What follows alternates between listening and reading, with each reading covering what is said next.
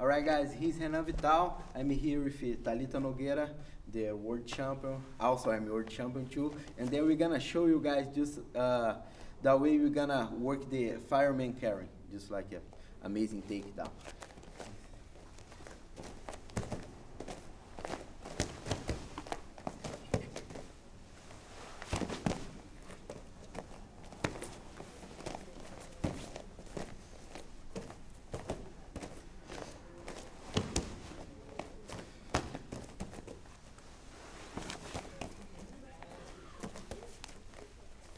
Alright guys, before we work this takedown here, it's, it's like uh, we have always make sure we're gonna have a nice grip on the collar, really close from my partner's shoulder, and then I have to make my partner have it, do some steps here.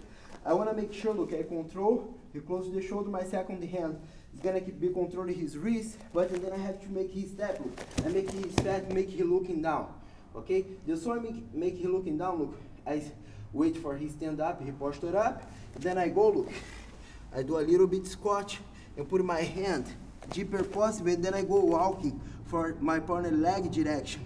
That way I finish the takedown and as my goal is gonna try finishing the side. One more time. Look, I'm gonna be here. Then I start, look, get the control and I have to make the person walk. Look it down. The soon he posture up, I'm go and I get in. But look, my shoulder go deeper possible, then I walk for my partner direction here. That way just go, turn to the side, keep control the collar, and I'm gonna finish in the side. Thank you guys. I hope you guys really enjoy the technique, right?